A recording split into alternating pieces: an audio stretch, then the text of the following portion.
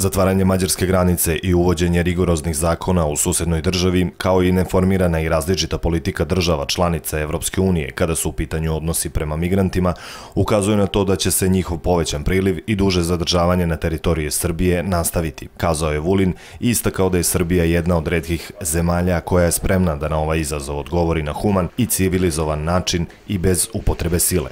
Ovi ljudi neće biti uklonjeni silom. Imali smo mi i drugih situacija gde smo mogli da se služimo silom, to nismo uradili i to nećemo raditi. Ovi ljudi nama ništa nisu skrivili. Nikakvo zlo nam nisu učinili, nikakvim kriminalom se nisu bavili, mi na njih nećemo da šaljemo naoružanu policiju, mi se nećemo služiti silom. Da problem postoji, postoji, mi ga nismo napravili. Mi nismo digli ni zid, ni ogradu. Mi nismo blokirali autoput.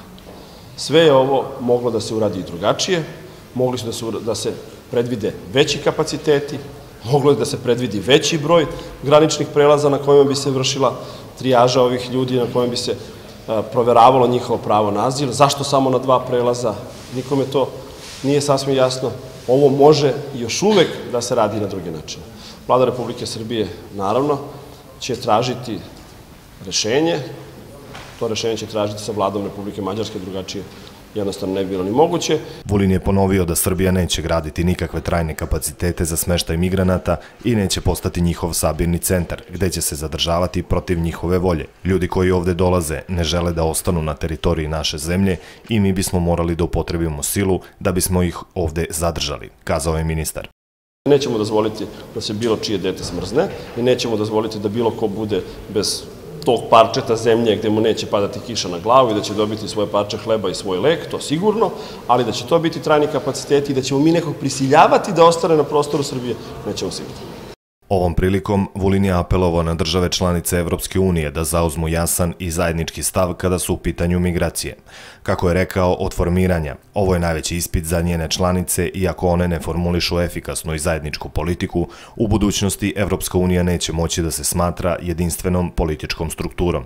Nama je više od svega, čak više od novca, potrebno da imamo jedinstvenu i jasno formulisanu politiku Evropske unije. Ovaj zid koji, se, koji je pregradio i naš autoput je zid koji je pregradio Evropu. Evropa više nije celovita. Ako u Evropi 21. veka najopterećeniji i možda i najvažniji putni pravac može da bude zatvoren jednim zidom, onda se postavlja pitanje da li Evropa može da opstane, da li je jedinstvena i da li će u budućnosti biti jedinstvena. Gradonačelnik Subotice Jene Maglaj veruje da se migranti u situaciji kada ne mogu da pređu u Mađarsku i dobiju azil neće duže zadržavati na teritoriji grada. On pripostavlja da će oni kojima je cilj Nemačka, Austrija ili neka druga zemlja Evropske unije pronaći druge putne pravce do svog odredišta.